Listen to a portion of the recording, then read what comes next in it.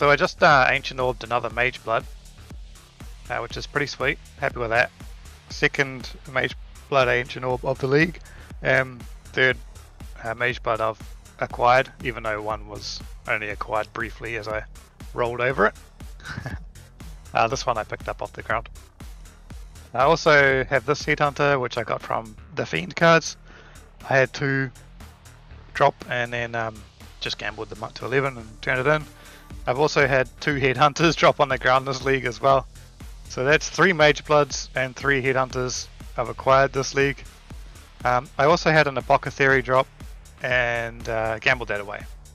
So I'm up two Magebloods and I'm up three Headhunters, but I'm down 1.2 Magebloods. You know, so that's a that's a net of like four 4.8 T0 belts. Plus 4.8 T0 belts. Which is good, you know, happy with that. But um, I thought I'd, I'd, take this time to do a bit of an update on my league. Uh, so I'm doing this body swap build. It's going well.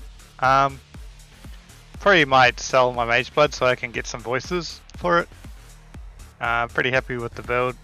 It uh, spazzes out, does its thing and you just blink around everywhere. It's actually like a lot better than I thought it would be. So I'm really happy with it. Uh, I'm going to try kill Libas with it. I can't kill Maven with it though, uh, as you can't control where you blink so much because it just blinks on the, where the zombie spawns. So the brain part of the Maven, you just blink into the beam and die, you know, so I won't do that. But other fights are possible. So we'll see how we go with that. Uh, Boneshatter's going uh, good. I haven't really touched the character much, but Every time I get a Valdo's map that looks hard, I'll just log in the Boneshatter and smash it, so that's good. Uh, and also the Trickster's still good as well. Still need to finish that build. But yeah, I thought I'd just do this brief update to tell you where I'm at. Um, just been farming Harbingers. That's all I do, pretty much. Uh, Harbingers uh, just give me Magebloods. Uh, it's actually my strat. I haven't really said it, but what I do every league is I log in. I do some like Alchem Ghost Rat. So this league I did uh, Einhar for a bit, which is how I got the first Headhunter. And then I did uh, Ritual, uh, not Ritual, I did Expedition plus Blight together, uh, which is what really um, boosted my income so I could afford uh, to the Harbinger Scarabs, which were expensive at the time, until I could get my character to a level where I could like juice the Harbinger maps enough where it could, you know, would self-sustain. Um, well, more than self-sustain, obviously, but yeah, it was. You kind of sort of need a step because with Harbinger maps now, you need to have like a pretty just a normal atlas everyone has pretty much now, uh, where you just uh, get all the explicit modifier boosting. There's my atlas tree at the moment.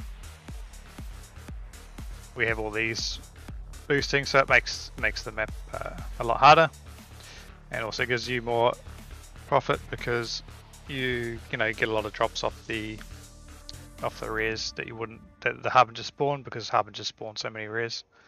Uh, I'm using two harbinger scarabs uh, plus an obelisk scarab plus a uh, regency scarab and uh, the warhorde scarab. So this is my setup.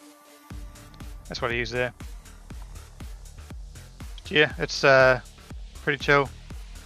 I haven't really done any testing on Harbingers this league. I did a whole bunch of testing at the end of last league, but then they completely changed. Obviously with Obelisk Scarab, like what? so that was just like waste of time. But um, yeah, but yeah. So there's a bit of argument to have like two Harbinger Scarabs instead of the Obelisk Scarab. Either way is fine, I think. I prefer the Obelisk Scarab because my character just kills Obelisk immediately, pretty much on arrival and so like I can just kill them while the hub just spawn. So I think it probably is a bit a bit better than killing another three harbingers. Uh, having the extra four obelisks per, I think it's four per harbinger.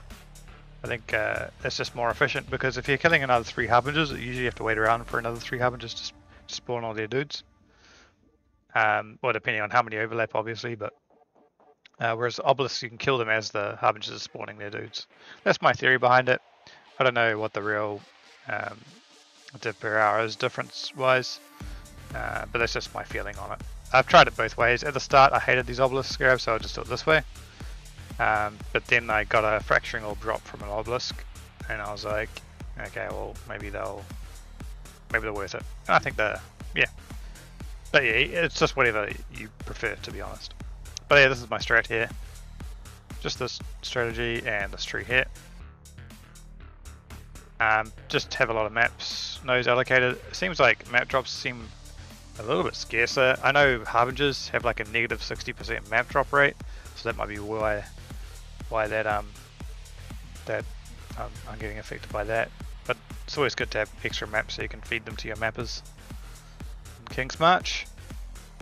Um, but yeah, that's just uh, an update on my league. Uh, thought I'd just after the extra Mageblood. Like this has been insane. I've never had a T0 belt drop on the ground and this league I've had three. So I don't know what's I don't know if they're more common. Uh, I don't know if I'm doing something tricky. I don't know what it is. But there you go. I think uh, I'm just blessed by Chris Wilson.